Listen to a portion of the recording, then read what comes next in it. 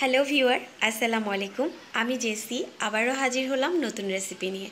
আমার আজকের রেসিপি লটিয়া মাছের ফ্রাই আপনারা অনেক ধরনেরই মাছ খেয়ে থাকেন বাট এই মাছটার ফ্রাই অসম্ভব মজা। আমি আপনাদের সাথে আজকে সেই রেসিপিটাই শেয়ার করব। চলুন তাহলে এই পুরো রেসিপিটি দেখে নিই।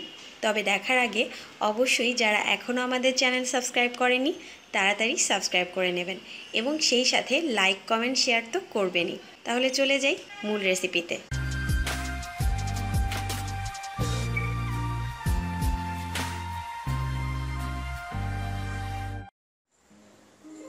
প্রথমে লটিয়া মাছটাকে আমি খুব ভালো করে ম্যারিনেট করে নিব। এখানে দুশো গ্রাম লটিয়া মাছ নিয়েছি এবং খুব ভালোভাবে ধুয়ে এরকম করে কেটে নিয়েছি। এখানে টোটাল সাত পিস আছে। এবার আমার যা যা দিতে হবে ম্যারিনেট করার জন্য। সয়া সস দিচ্ছি এক টেবিল চামচ। হাফ চা চামচ লবণ,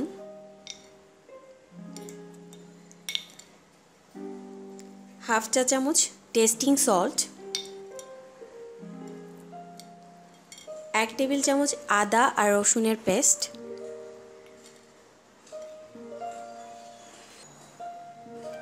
আর দিচ্ছি হাফ চা চামচ লাল মরিচের গুঁড়া। ঝাল এবং লবণটা আপনাদের স্বাদ অনুযায়ী আপনারা অ্যাডজাস্ট করে নেবেন। কারণ সামুদ্রিক মাছে কিন্তু একটু লবণ থাকে, যার কারণে লবণটা খুব বুঝে শুনে দিতে হবে। এখানে সয়া সস দিয়েছি, সেটাও লবণ থাকে। টেস্টিং সল্ট নর্মাল সল্ট সব কিছুই দিয়েছি সো লবণটা আমি অল্প করে দিয়েছি। সব মিশিয়ে এবার আমি ভালো করে মেরিনেট করে নিব। আপনারা যদি আরেকটু বেশি পরিমাণ মাছ নেন, সেই ক্ষেত্রে এই বাকি যে উপকরণ, এগুলো একটু বাড়িয়ে কমিয়ে অ্যাডজাস্ট করে নিতে হবে। ম্যারিনেট করে এখন আমি এটাকে এক ঘণ্টার জন্য রেস্টে রেখে দেব।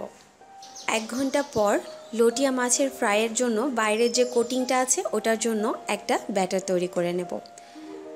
এর জন্য একটা মিক্সিং বোল নিয়েছি। এখানে দিয়ে দিব দুই টেবিল চামচ কর্নফ্লাওয়ার হাফ চা চামচ লবণ হাফ চা চামচ লাল মরিচের গুঁড়া, আর দিব এক টেবিল চামচ ময়দা। সবশেষে দিয়ে দিব একটা ডিমের হলুদ অংশ। এবার এটা একটু ভালো করে মিশিয়ে নিব কুসুমের সাথে।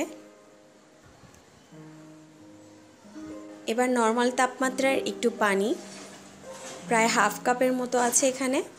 এটা ব্যাটারটা তৈরি করার উপর ডিপেন্ড করবে আমার পানি কতটুকু লেগেছে। আমি আবারও একটু পানি দিয়ে দিচ্ছি।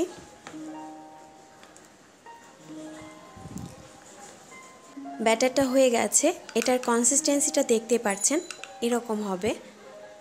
খুব বেশি পাতলাও না, আবার খুব বেশি ভারীও হবে না। ব্যাস, এবার চলে যাচ্ছি কিচেনে লটিয়া মাছ ফ্রাই করতে। এবার মাছগুলোকে ফ্রাই করে নেব।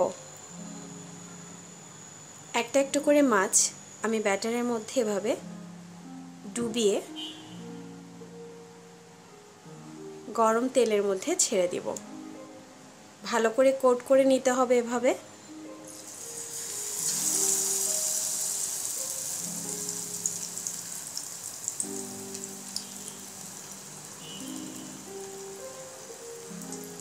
একবারে বেশি দেওয়ার প্রয়োজন নেই। দুটো দুটো করে ভেজে নিলেই চলবে।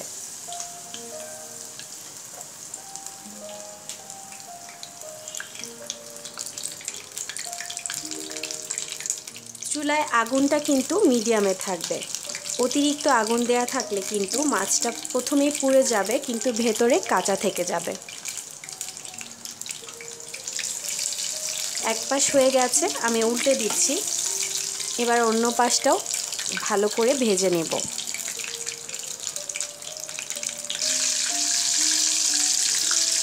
দেখতে পাচ্ছেন, খুব সুন্দর একটা গোল্ডেন কালার হয়ে গেছে।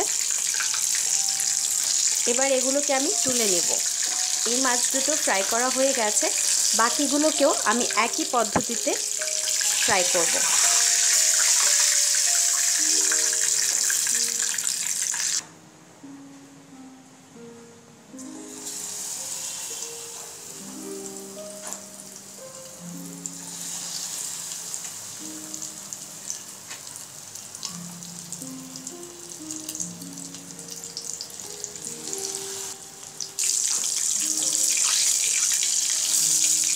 আমার সবগুলো মাছই ফ্রাই করা হয়ে গেছে, এবার এগুলোকেও আমি তুলে নিচ্ছি।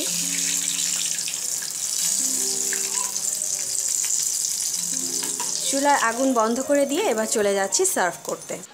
তৈরি হয়ে গেল লটিয়া মাছের ফ্রাই। আঞ্চলিক ভাষায় এই মাছটাকে অনেকেই লইট্টা মাছও বলে। আশা করছি আপনাদের কাছে আমার রেসিপিটি ভালো লেগেছে। ভালো লেগে থাকলে অবশ্যই বেশি বেশি করে আমার রেসিপিগুলো শেয়ার করবেন। আমি জেসি আবারও ফিরে আসব নতুন রেসিপি নিয়ে। আপনারা ভালো থাকবেন, সুস্থ থাকবেন। আল্লাহ হাফেজ।